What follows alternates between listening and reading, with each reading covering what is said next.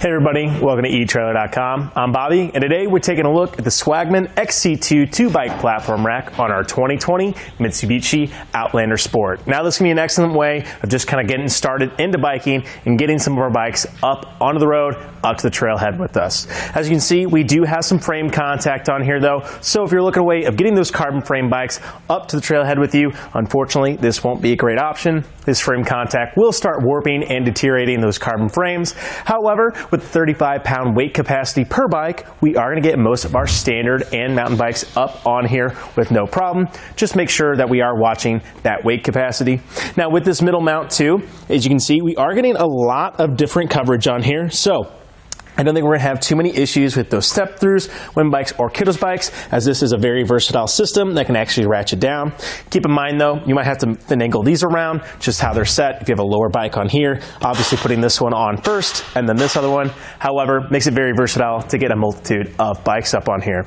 As you can see too, we have a pretty simple design here with this platform rack. We just have two wheel hoops actually holding this in. A great thing about these guys though, is they are adjustable. So things I like about this guy, great entry model, especially for the versatility. We can get a whole bunch of different friends, start biking with us. A couple different family members too can actually utilize this.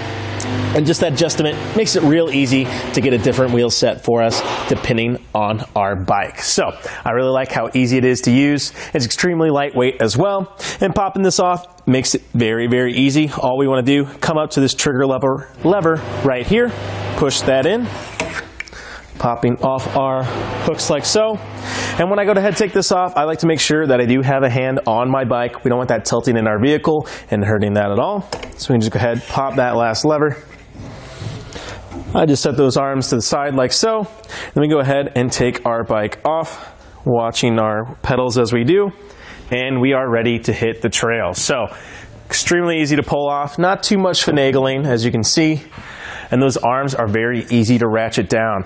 I'll go ahead and show you guys. Just simply walk right up, make sure we're fitting our track and our arms are appropriate. You can hear that ratcheting down. Not going to have any issues with that popping off like so.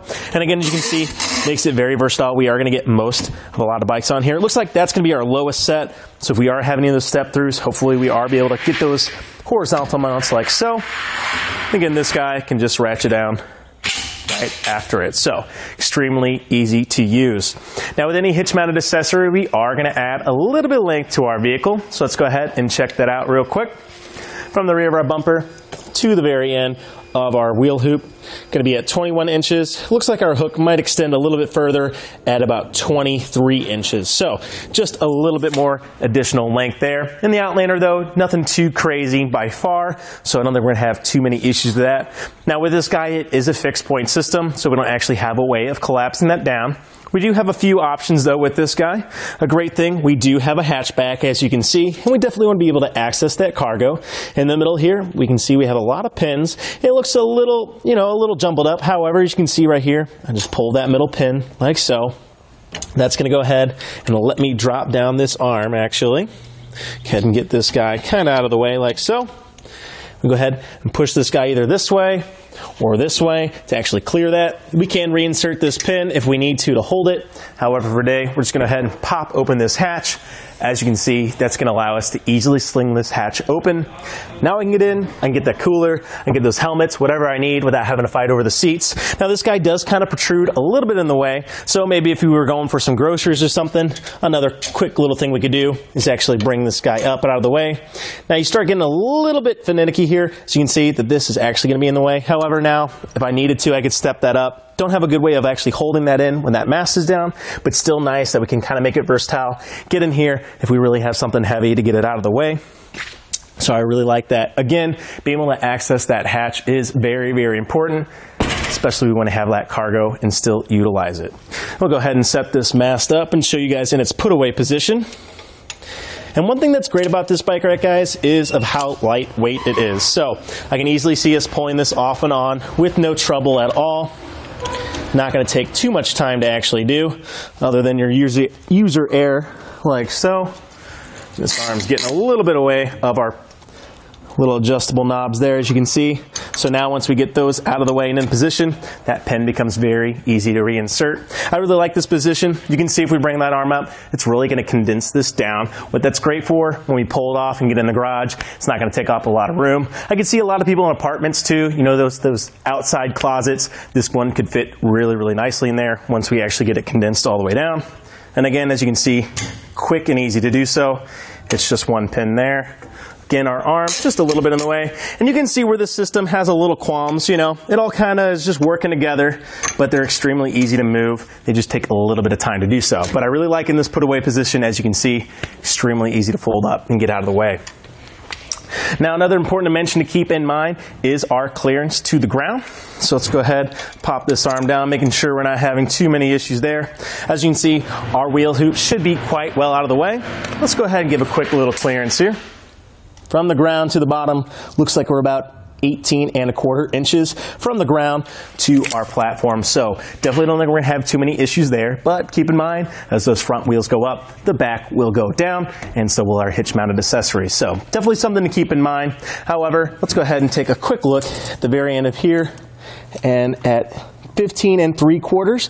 Definitely going to be a little bit lower than our bikes, which is something that we actually do want. If we want any contact, we will make sure we're not hitting those bikes, making sure we're not having any kind of damage that way.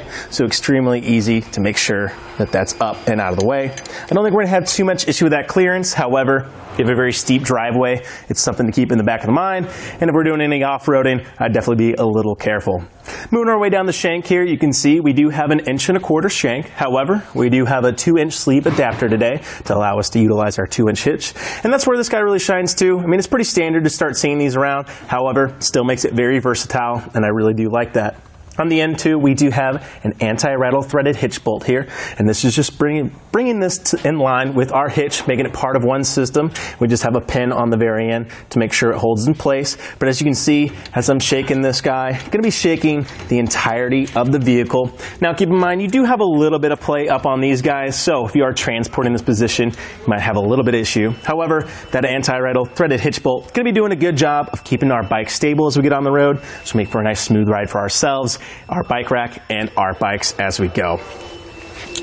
I really do like that rise in the shank too. Just make sure we're not having any, any, any, issues with our clearance as we get on the road. Well, the Swagman has a lot of advantages to it. Obviously, that price point is really hard to beat, especially if you're just getting two bikes up on the trails with us. However, some things it lacks is a locking system. Now, you can pick those up, but that does really start adding to that price point. However, if you're looking for a way of just really starting to get going on the weekends, this can be a great starting option.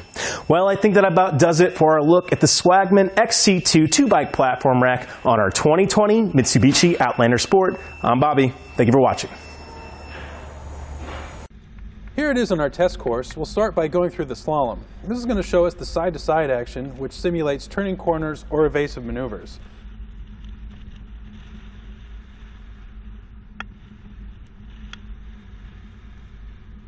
Next, we're at the alternating speed bumps, which we'll see the twisting action. This will simulate hitting a curb or pothole or driving over uneven pavement.